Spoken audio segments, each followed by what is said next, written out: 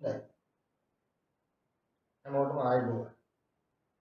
අපි බලමු අද ඔයගොල්ලෝගේ තුන්වෙනි පාඩම පරිගණක පද්ධතියේ දත්ත නිරූපණයට භාවිතා වන ක්‍රම. අපි හැමෝම දන්නවා පරිගණක පද්ධතියක් කියලා කියන්නේ සංඛ්‍යාංක එහෙම නැත්නම් ඩිජිටල් ඩිවයිස් එක. සාමාන්‍යයෙන් ඩිජිටල් ඩිවයිස් එකක දත්ත නිරූපණය කරන්න නැත්නම් අපි ඇතුල් කරන දත්තය සංඛ්‍යාංක උපකරණයක් තුළ නිරූපණය වෙන්නේ සංඛ්‍යා ආකාරයෙන්. ඒ නිසා අපිට සංඛ්‍යා පද්ධති පිළිබඳ ඉගෙන ගන්න සිදු වෙනවා. අපි මුලින් බලමු සංඛ්‍යාවක් යනු කුමක්ද කියලා. දැන් මම මේ බෝඩ් එකේ මෙහෙම දෙයක් ලියුවොත්. මෙහෙම ලියුවොත් දැන් ඔබ හැමෝම දන්නවා මේකට කියන නම මොකක්ද කියලා. ඔබ කියයි මේක පහ කියලා. එහෙනම් මේ අපි මේ පොදුවේ ගත්තොත් මේක අපිට ගන්න පුළුවන් සංකේතයක් විදියට. සංකේතයක්. එහෙනම් මේ සංකේතයෙන් කිසියම් වටිනාකමක් නැත්නම් අගයක් නිරූපණය කරයි. එහෙනම් ඔයගොල්ලෝ ඉස්සෙල්ලා මාතෘකාව ලියා ගන්න. පරිගණක පද්ධතියක පරිගණක පද්ධතියක දත්ත නිරූපණය සඳහා භාවිතා වන ක්‍රම පරිගණක පද්ධතියක දත්ත නිරූපණය සඳහා භාවිතා වන ක්‍රම.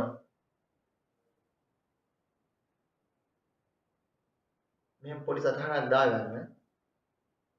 පරිගණකයක් යන පරිගණකයක් යන ඩිජිටල් ඩිවයිස් එකක්. සංඛ්‍යාංක උපකරණයක් වන අතර වන අතර. අප විසින් ආදානය කරනු ලබන අප විසින් ආදානය කරනු ලබන රූප රූප අකුරු ආදිය පරිගණකය තුලදී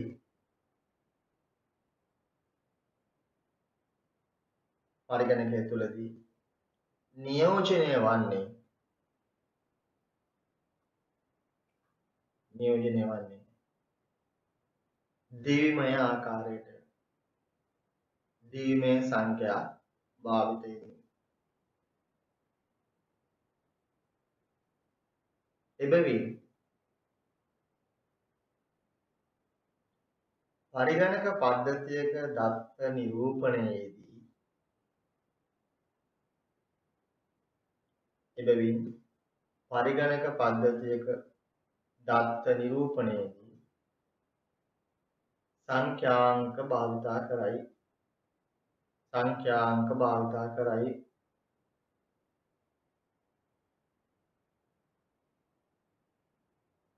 හරි. දැන් ඔයගොල්ලෝ අනුමාත්‍රකාවක් ලියන්න සංඛ්‍යාවක් යන කුමක්ද?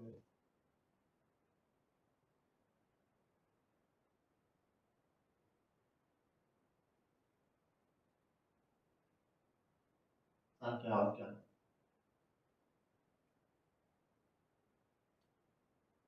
ලියගන්න කිසියම් අගයක් නිරූපණය කළ හැකි කිසියම් අගයක් නිරූපණය කළ හැකි සංකේතයක් සංකේතයක්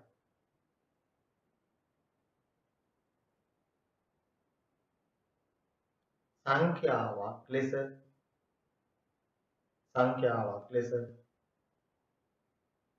හඳුන්වයි කිසියම් අගයක් නිරූපණය කළ හැකි සංකේතයක් සංඛ්‍යාවක් ලෙස හඳුන්වයි උදාහරණ කිහිපයක් ලියා ගන්න.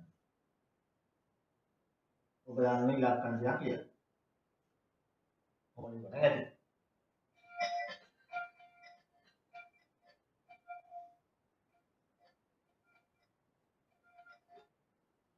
හොඳයි. දැන් අනුමාත්‍රකාව කියලා ගන්න සංඛ්‍යා පද්ධතියක් යනු කුමක්ද? සංඛ්‍යා පද්ධතියක් යනු කුමක්ද?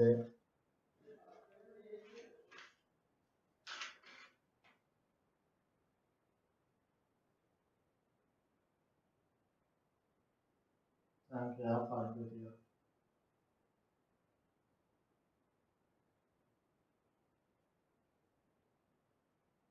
හොඳයි. මම උදාහරණයක් විදිහට මෙහෙම එකක් ලියන්න.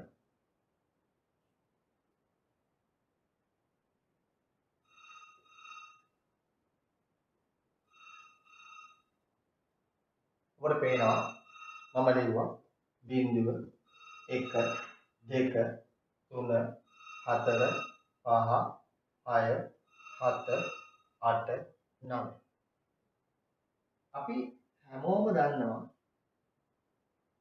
මේකට අපි කියන්නේ දශමය සංඛ්‍යා පද්ධතිය. දශමය සංඛ්‍යා පද්ධතිය. මේකට අපි කියනවා ඩෙසිමල් number. System දශමය සංඛ්‍යා පද්ධතිය ඩෙසිමල් number system. එතකොට ඔයගොල්ලෝ දන්නවා මේ මේ ඩෙසිමල් නැත්නම් මේ දශමයේ සංඛ්‍යා පද්ධතියේ තියෙන ඉලක්කම් 10ක් මේ 10 පාවිච්චි කරලා අපිට ඕනෑම වටිනාකමක් ලියන්න පුළුවන්. ඕනෑම වටිනාකමක් ලියන්න පුළුවන්. එහෙනම් අපිට පේනවා කිසියම් සංඛ්‍යා පද්ධතියක් ගත්තොත් සංඛ්‍යාවන් කීපයක් තිබෙනවා. ඒ භාවිතා කරලා අපිට වටිනාකමක් ලියන්න පුළුවන් කියන්නේ එහෙනම් ලියන්න සංඛ්‍යා පද්ධතියක් යනු සංඛ්‍යා පද්ධතියක් යනු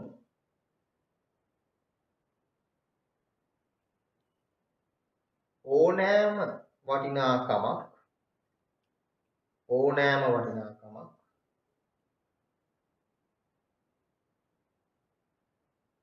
නිරූපණය කළ හැකි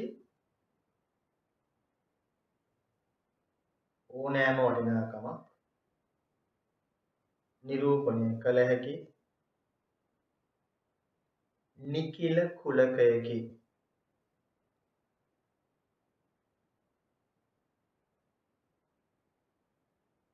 නිකිල කුලකයකි. උදාහරණයක් ලෙස බිඳුවේ ඉඳන් 9 දක්වා ඉලක්කම් ටික ලියලා යන දශමයේ සංඛ්‍යා පද්ධතියකි.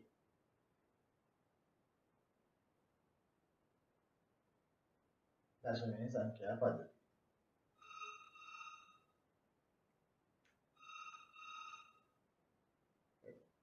අපි තවත් උදාහරණයක් ගමු. අපිට ලියන්න පුළුවන්. බිඳුවේ ඉඳන් 7 දක්වා ලියන ලියන්න. එතන ලියන්න පුළුවන් අෂ්ටමය අපි කියන ඔක්ටල් තවත් උදාහරණයක්. බිඳුවේ ඉඳන් 7 දක්වා ලියුවා ලියුවා අෂ්ටමය සංඛ්‍යා පද්ධතිය ඔක්ටල් number system. හොඳයි. ඊළඟට මා අනුමාත්‍රකාවක් ලියා ගන්න.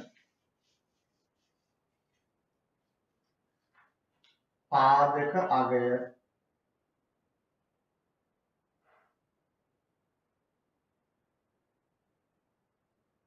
පාදක අගය. Base value. පාදකාගය බේස් වැලියු හොඳයි. අපි බලමු දැන් මේ මොකක්ද පාදකාංගය කියලා. අපි නැවත ඉහත උදාහරණයම ගමු. අපි ගත්තොත් එහෙම බිංදුව 1 2 3 4 5 6 7 8 9 දැන් ගණන් කරොත් ඔබට පේනවා ඉලක්කම් 10ක් තිබෙනවා. එහෙනම් මෙන්න මේ සංඛ්‍යා පද්ධතිය අදාළව තිබෙන සංඛ්‍යා ප්‍රමාණය තමයි අපි කියන්නේ පාදක අගය කියලා. එහෙනම් පාදක අගය 10යි. එහෙනම් දශමයේ සංඛ්‍යා පද්ධතියට ඉලක්කම් 10ක් තිබෙනවා. එහෙනම් පාදක අගය 10යි. මේක දශමයේ සංඛ්‍යා පද්ධතිය. අපි ඊළඟට බලමු ඊළඟ සංඛ්‍යා පද්ධතිය අෂ්ටමයේ සංඛ්‍යා පද්ධතිය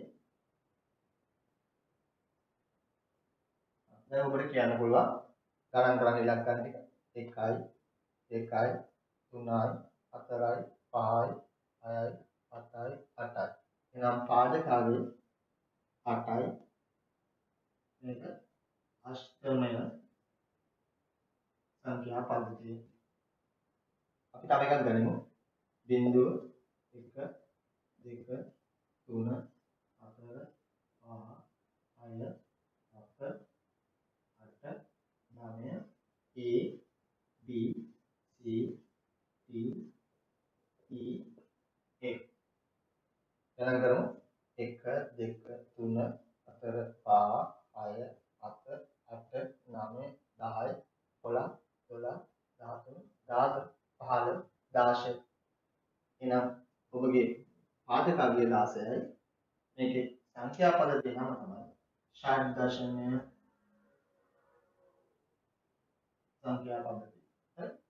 ඊළඟ තව එකක් බලමු අපි. බිංදුව 1. මේකේ ඔබට පේනවා සංඛ්‍යා දෙකයි තියෙන්නේ නම් මේකේ පාදක දෙකයි. එහෙනම් ඔබට පේනවා පාදක අගය නැත්නම් බේස් වැලියු එක කියලා කියන්නේ සංඛ්‍යා පද්ධතියක තිබෙන සංඛ්‍යා ප්‍රමාණයට. එහෙනම් අපි ලියන්න. කිසියම් සංඛ්‍යා පද්ධතියක කිසියම් සංඛ්‍යා පද්ධතියක අඩංගු වන අඩංගු වන සංඛ්‍යා ප්‍රමාණය.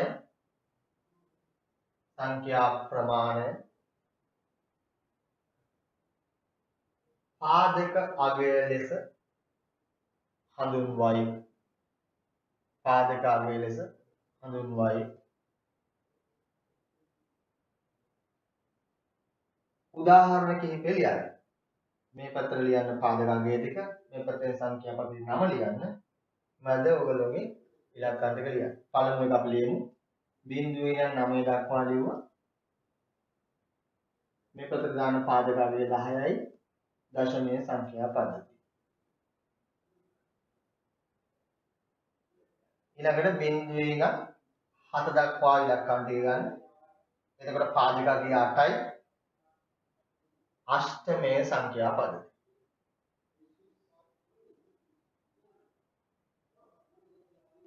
බිංදුවේ ඉඳගෙන 9 දක්වා ලියන. එතන ඉඳන් ආපහු A B C D E F කියලා ලියන්න. ඒකට අපි කියනවා පාදකගේ 16යි ෂඩ්දශමය සංඛ්‍යා පද්ධතිය.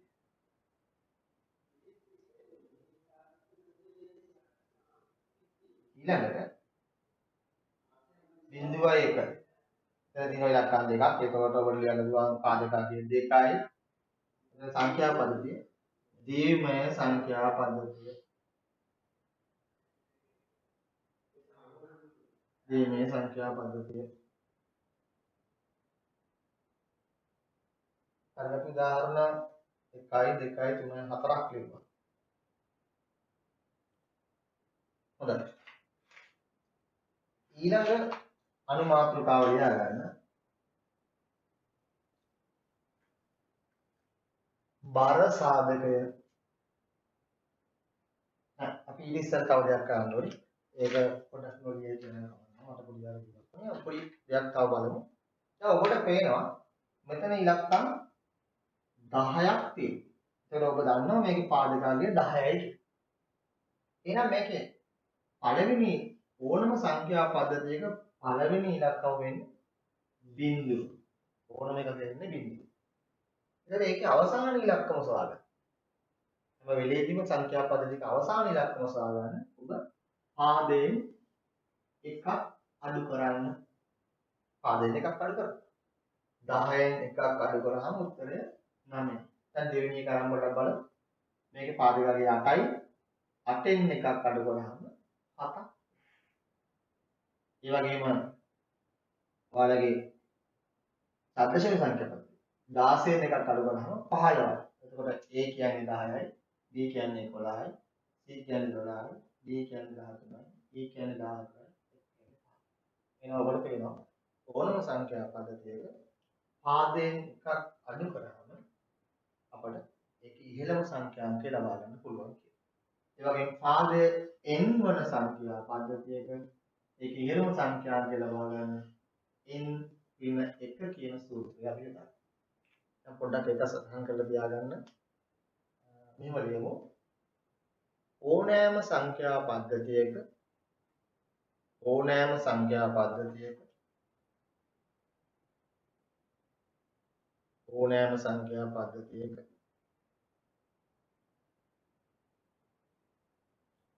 පාදය දන්නේ නම් පාදය දන්නේ නම් ඉන් එකක් අඩු කළ විට ඉන් එකක් අඩු කළ විට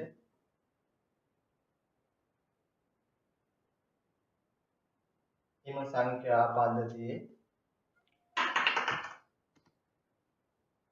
ඉන් එකක් අඩු කළ විට එම සංඛ්‍යා පද්ධතියේ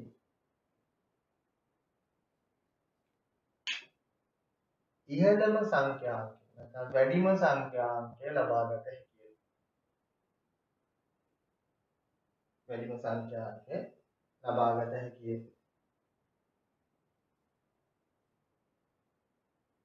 අපිට ලියන්න පුළුවන් උදාහරණයක් උදාහරණයක් පාදය 10ක් වන සංඛ්‍යා පද්ධතියක පාදය 10ක් වන දශමය සංඛ්‍යා පද්ධතිය පාදය 10ක් වන දශමය සංඛ්‍යා පද්ධතිය 10 ඍණ 1 10 ඍණ 1 නවයකි. නවය කියලා කියන්නේ මේ සංඛ්‍යා පද්ධතියේ ඉහළම සංඛ්‍යාංකය. ඊළඟට ලියා ගන්න පාදය n වන සංඛ්‍යා පද්ධතියක පාදය n වන සංඛ්‍යා පද්ධතියක ඉහළම සංඛ්‍යාංකය ලබා ගැනීම සඳහා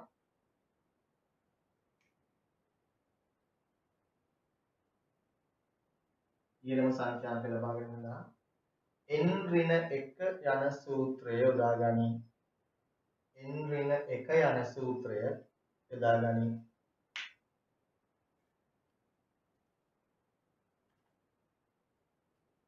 හොඳයි. දැන් ඔබ ලියා ගන්න අර මම පෙර කී මාතෘකාව බාර සාධකය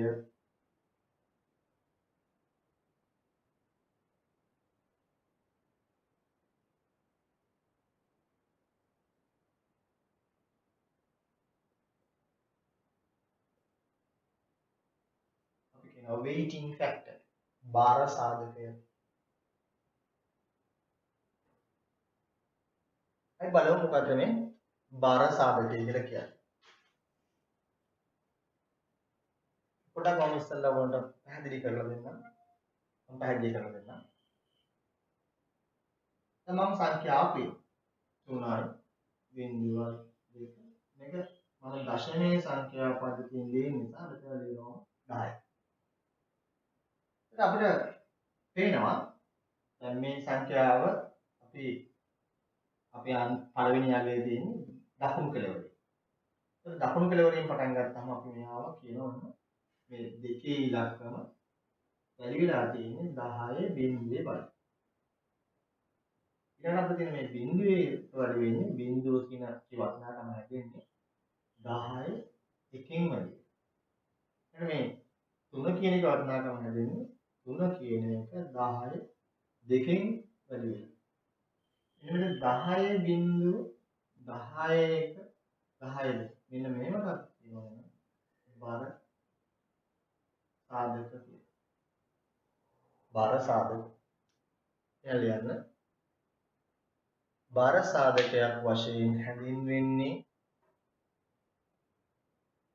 බර සාධකයක් වශයෙන් හැඳින්වෙන්නේ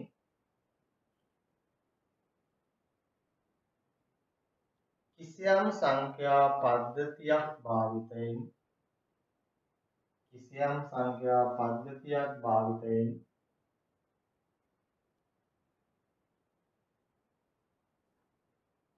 කිසියම් සංඛ්‍යා පද්ධතියක් භාවිතයෙන් ලියන ලද ලියන ලද සංඛ්‍යාවක සංඛ්‍යාවක. සංඛ්‍යාංකවල ස්ථානීය අගයයි. සංඛ්‍යාංකවල ස්ථානීය අගයයි.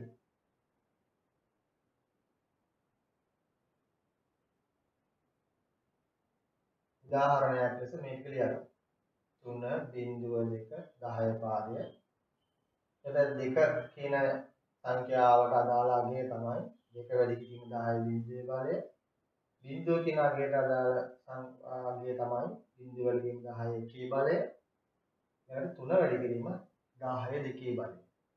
එතන මේ 10 බිංදුව 10 1 10 2 කියන්නේ බර සාධක වලට.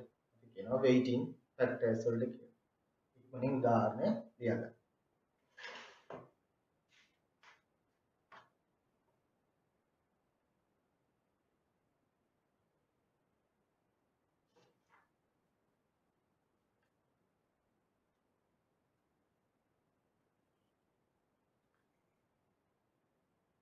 හොඳයි.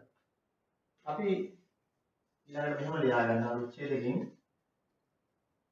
අප විසින් භාවිතා කරන අප විසින් භාවිතා කරන සංඛ්‍යා පද්ධතීන් කිහිපයකි. සංඛ්‍යා පද්ධතීන් කිහිපයකි.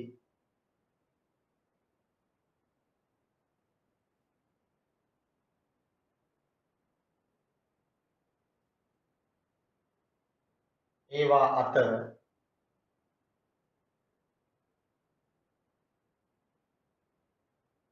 ඒවා අතර කියලා මෙන්න මේ විදිහට තීරු තුනක වගුවක් ඇඳගන්න.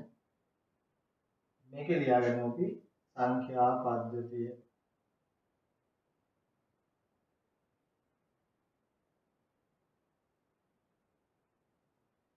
දැන් ලියමු අපි පාදක අගය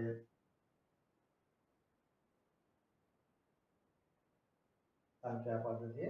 පාදක අගය දැන් ලියන්න භාවිතා වන ඉලක්කම්.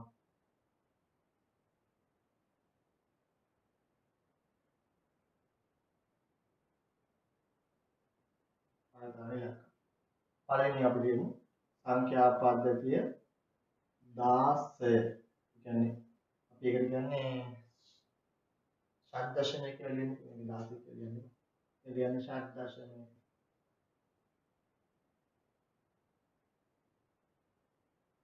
දශමය පාතිකාලය 16යි භාවිතාන ඉලක්කම් ටික ලියන්න පුරුදු ලියන්න ඕන. 1 2 3 4 5 6 7 8 9 A B C D E මේ කීයක් ගහුවා ඊළඟට අෂ්ටමය ඒක ඕන ඕනේ හෙක්සඩෙසිමල් කියලා ලියා ගන්න පුළුවන් හෙක්සඩෙසිමල් මේක ඔක්ටල් එහෙනම් 8යි භාවිතන ඉලක්කම් ටික බිංදු දෙක තුන හතර හත් ඊට පස්සේ ඊළඟ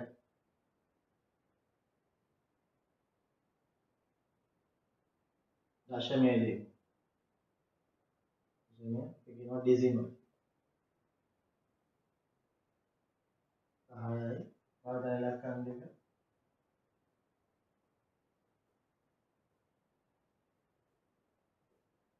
නම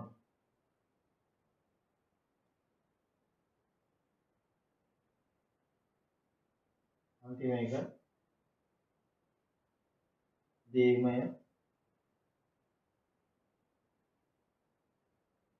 බයිනරි පාදය දෙකයි. දෙනවා බිඳුව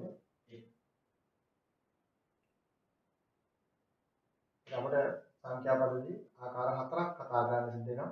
ෂඩ්දශමය, අෂ්ටමය, දශමය, දී.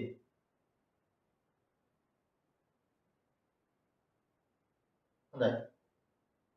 අපි ඊළඟ කොටසින් බලමු මේ සංඛ්‍යා පද්ධති එකින් එක වෙන වෙනම විග්‍රහ කරලා බලමු කොහොමද ඒක හැදලා තියෙන්නේ කියලා. ඒ නිසා මෙම කොටස ඔබ හොඳින් සටහන් පොතේ ලියාගෙන ඊළඟ කොටස සූදානම් වෙලා සිටින්න. අයියෝ